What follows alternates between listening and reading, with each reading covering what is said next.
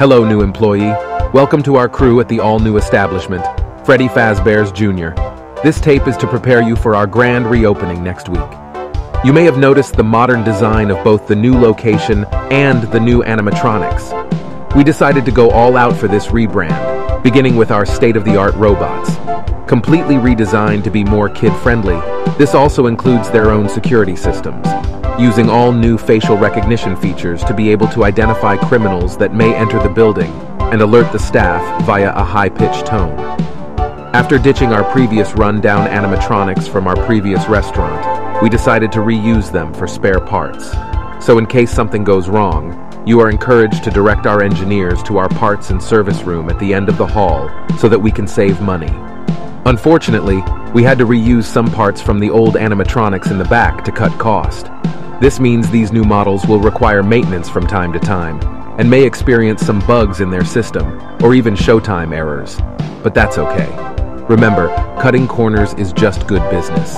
If this occurs, simply refer to the handbook provided to you, identify the issue, and then contact the corresponding number to book a date for repairs. Along with a rebrand comes a new start, a new beginning. We want our customers to forget past events that occurred at the old location, an event that you should not worry about because nothing happened. Nothing happened to anyone. Rules.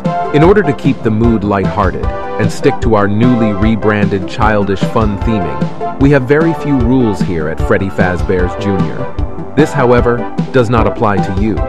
For the most part, a lot of the rules are self-explanatory, such as always arriving on time, no stealing, and no locking children backstage.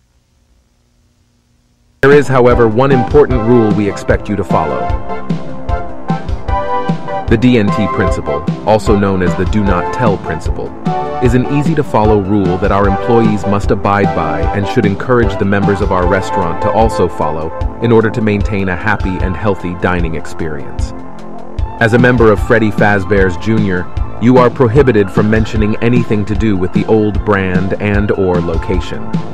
If you find someone within our restaurant who is discussing this, please report them immediately so we can keep a clean name for our brand. Nothing happened to anyone. Nothing happened to anyone. Nothing happened to anyone. Nothing happened to anyone. Nothing happened to anyone. Nothing happened to anyone. Nothing happened to nothing nothing nothing nothing nothing nothing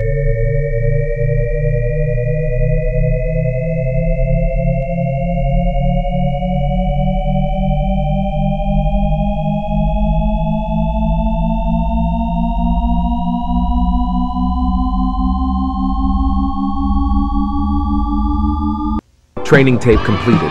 Good luck out there. You're now the new face of Freddy Fazbear's Jr.